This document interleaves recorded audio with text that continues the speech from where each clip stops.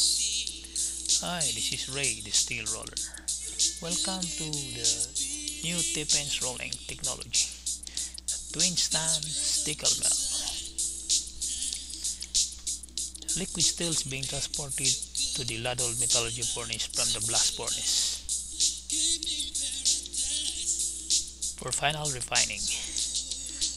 Now the ladle is pouring liquid steel to the tundish and to the casting machine. The slab caster is being controlled by operators to ensure the proper flow of the liquid steel to the caster's run. Now the slab is being cut by a high pressure gas cutting machine and it is being loaded by a huge robotic charging machine of Steinwerte. The slab will be heated up to the desired rolling temperature. Now the slab is ready for rolling. The slab will pass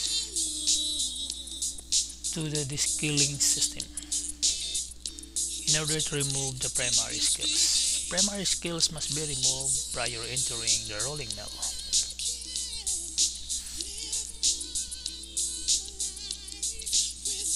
After the descaling process, the centering guides will square and center the slabs prior hitting the roll bite for the first pass. At the first pass, the vertical edger is set to the required setting for the ordered weight of the seed product. This vertical edger is used only during the early reversal phases.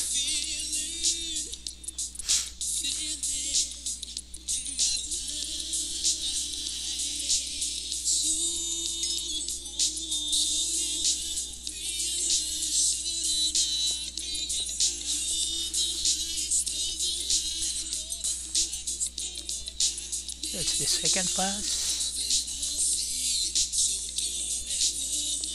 And at the end of the third pass, the tail end of the strip will be cut by the pinch roll shear in order to remove the de- deformities. After shearing the tail end, the side guides will center the strip before hitting the roll bites for the next pass. That's the male operator's pulpit run by a single operator. Now here comes the port pass. The wave. The apron arms comes down and the pinch roll knives will come to ambush position.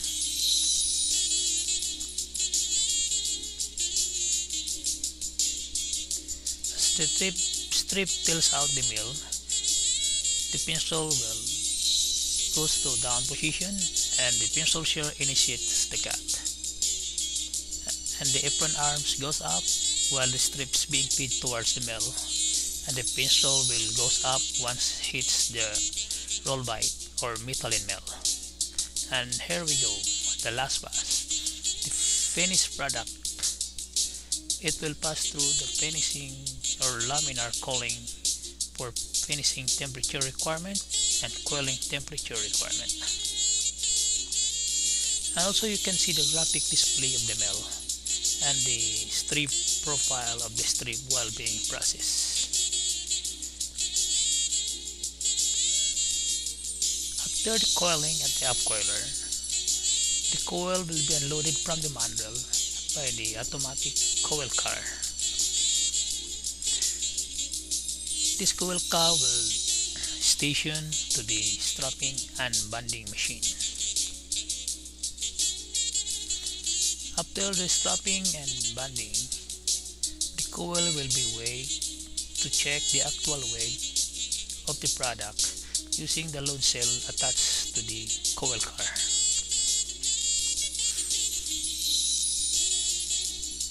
Now the coil car is positioned to the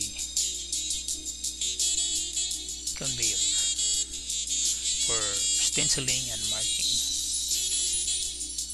This robotic uh, machine will first measure the distance of the area to be marked. And it will start spraying all the details of the coil or the finished product. The heat number, the coil number, and the size of the finished product. And these are the products that we were able to roll during the performance test 1.5 millimeter 1.8 millimeter and 2.0 millimeter and during the performance test the mill demonstrated that it is capable to roll 1.0 millimeter.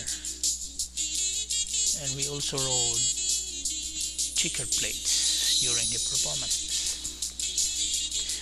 Now the coils are stored in the coil yard unloaded coil car for delivery to the downstream industries. My special thanks to the whole team of the Tip and Spell Services who participated in the tuning up of the two-stand Steckel mill and the pinch roll shear designed by John Thomas. This is Ray saying thank you for watching the new Tippins rolling technology. Bye for now. Have a good day. And me, me, we have more mails to come.